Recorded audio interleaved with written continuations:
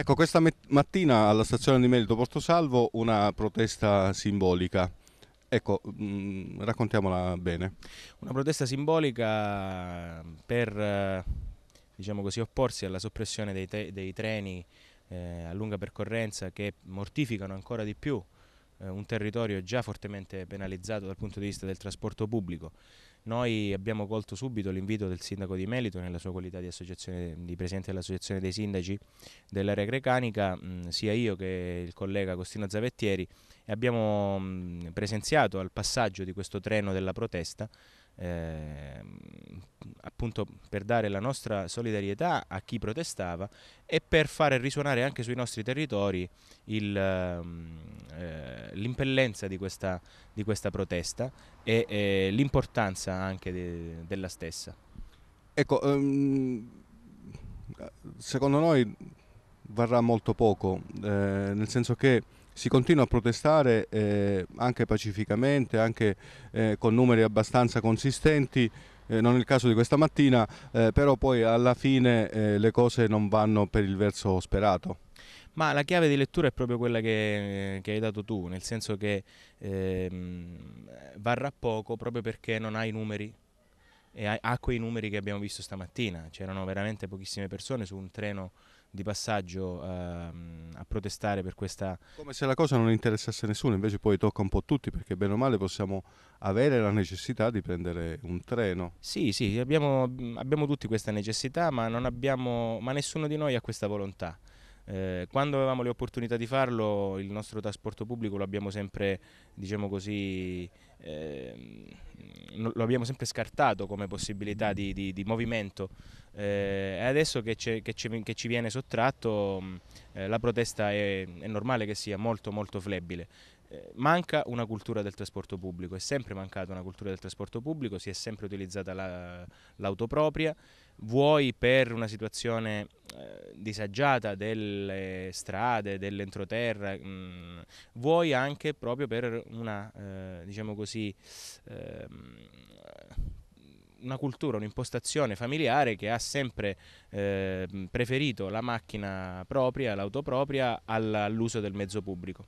Ecco, una cultura che però a Bagaladi è un po' all'avanguardia. Abbiamo eh, notizia di, di, questi giorni che è stato installato il primo impianto eh, di pala eolica, adesso no, il, primo aerogeneratore. Ecco, quello era il termine tecnico.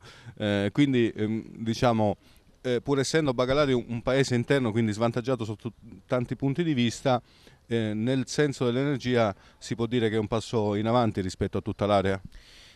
Sì, è una scelta che era stata fatta nel 2002, quella di puntare sulla produzione di energia elettrica dalla, dalla forza del vento, che c'è in abbondanza su soprattutto ai piani di Lopa a quota 1000-1100 metri eh, nel comune di Bagalati. Eh, proprio in questi giorni è stato installato il primo dei 14 aerogeneratori che costituirà il parco eolico dei piani di Lopa. È un momento significativo, un momento molto importante per, per tutta la comunità perché da anni aspettiamo di vedere realizzato questo sogno, un sogno che porterà benefici non soltanto di immagine perché primo, si tratta del primo parco eolico in provincia di Reggio Calabria, eh, ma anche dal punto di vista economico, perché il, essendo il parco proprio realizzato su terreni di proprietà comunale, eh, il comune beneficerà come energia prodotta, come percentuale di energia prodotta e come introiti dai canoni di locazione, dove sono appunto installati gli aerogeneratori. Ecco, in sintesi i costi e benefici.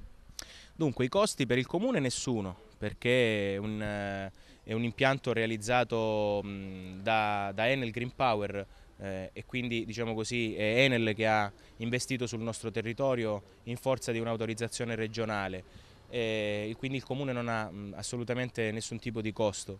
I benefici sono appunto mh, scritti in una convenzione che adesso non ricordo diciamo così appieno, però eh, per 15 eh, o 20 anni il comune percepirà eh, il canone di locazione, una parte di energia prodotta, un una tantum che è abbastanza sostanzioso quando il parco entrerà in produzione, dovrebbe essere entro il 2012 e quindi diciamo così è, è abbastanza vantaggioso.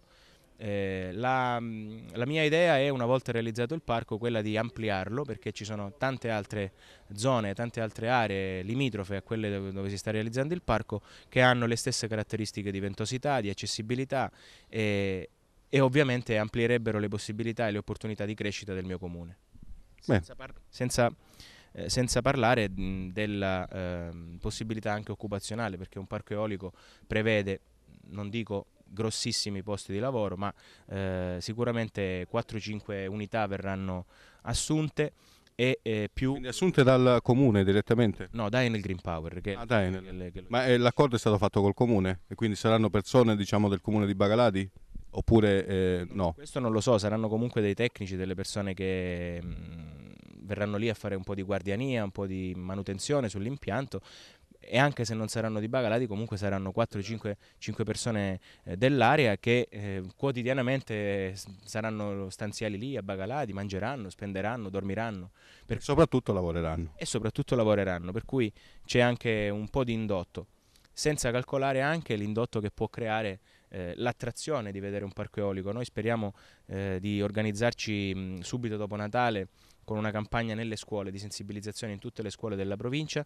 Eh, ho già diciamo, contattato buona parte dei dirigenti scolastici, eh, soprattutto dei comuni dell'entroterra, eh, in accordo col Parco Nazionale d'Aspromonte per eh, diciamo così, portare a Bagaladi tutti, tutte le scolaresche della provincia a vedere questa opera che in provincia di Reggio Calabria, ripeto, è la prima.